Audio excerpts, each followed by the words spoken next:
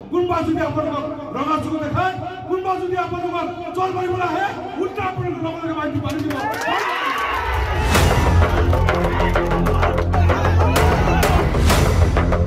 দিনত নুৰুল হুদাৰ উচতনি কংগ্ৰেছী। কোনোবা যদি আপোনালোকক জল মাৰিবলৈ আহে উল্টা আপোনালোকে লগে লগে মাৰি দিব। আপোনালোকক ৰঙা চকু দেখুৱালে আপোনালোকেও মাৰি দিব। কোনোবা যদি আপোনালোকক ৰঙা চকু দেখায় যদি আপোনালোকক জল মাৰিবলৈ আহে উল্টা আপোনালোকে মাৰি দিব।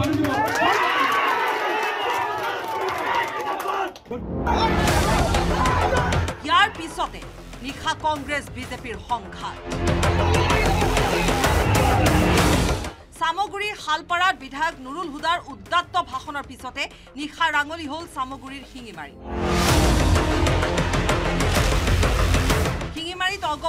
স্থাপন কৰা সুৰেশ বৰাৰ নিৰ্বাচনী কাৰ্যালয়ত নিশা কংগ্ৰেছী আক্ৰমণ কৰাৰ পিছতে প্ৰদ্যুৎ বৰদলৈ আৰু নুৰুল হুদাৰ কনভয়ত আক্ৰমণ কৰিলে বিজেপিৰ সমৰ্থকে। ভাঙিলে কংগ্ৰেছৰ চাৰিখনকৈ বাহন। দুই পক্ষৰ সংঘাতত আহত হ'ল চৈধ্য এই কাৰ্যক বিজেপিৰ গুণ্ডামী বুলি অভিহিত কৰি নিশাই প্ৰদ্যুৎ বৰদলৈ এজাহাৰ দাখিল কৰিলে ৰূপহী থানাত। প্ৰদ্যুৎ বৰদলৈৰ অভিযোগ এয়া সুৰেশ বৰাৰ গুণ্ডামী।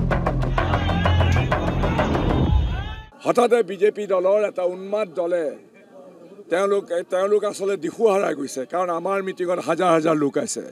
আমাৰ লোকৰ এই অকুণ্ঠ সমৰ্থন দেখি এই বিজেপিৰ বিশেষকৈ বিজেপিৰ প্ৰাৰ্থীজনৰ গুণ্ডা বাহিনীয়ে আমাৰ ওপৰত আক্ৰমণ কৰিছে আমাৰ গাড়ী ভাঙি দিছে আমাৰ আমাৰ মানুহৰ পৰা মোবাইল জোৰ জবস্তি কাঢ়ি লৈ গৈছে ধমকি দিছে দূৰৰ পৰা শিলগুটি মাৰিছে আৰু মানুহক আমাৰ আক্ৰমণ কৰিছে।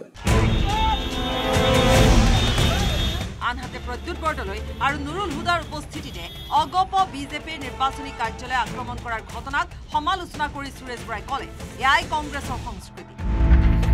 নিশা বিজেপিৰ জিলা সভাপতি অভিজিৎ নাথক লগত লৈ ৰূপহীহাট থানাত এজাহাৰ দাখিল কৰি সুৰেশ বৰাই শিঙিমাৰীত সংবাদমেল পাতি ক'লে আমি পিঠি পাতি দিয়া মানুহ নহয়। আমাৰ কৰ্মীক অত্যাচাৰ কৰিলে আমিও বহি নাথাকোঁ।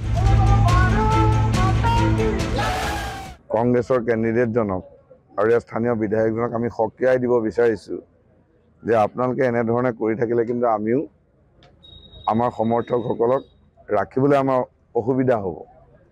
গতিকে আপোনালোকৰ আদৰ্শত আপোনালোকে ইলেকশ্যন খেলক আপোনালোকে ৰাইজৰ কাৰণে যি কৰি থৈছে ভাল কাম তাৰ উত্তৰ ৰাইজে দিব।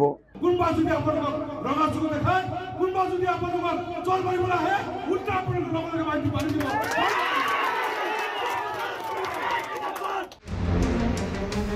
এইদৰে গৰু বিহুৰ দিনাই উত্তপ্ত হৈ পৰিল চামগুৰি? ইতিমধ্যে দুয়োটা দলৰ এজাহাৰৰ ভিত্তিত ৰূপহীহাট থানাত ৰুজু কৰা হৈছে নগাঁৱৰ পৰা নীলোৎপল বৰাৰ report news eighteen Assam north.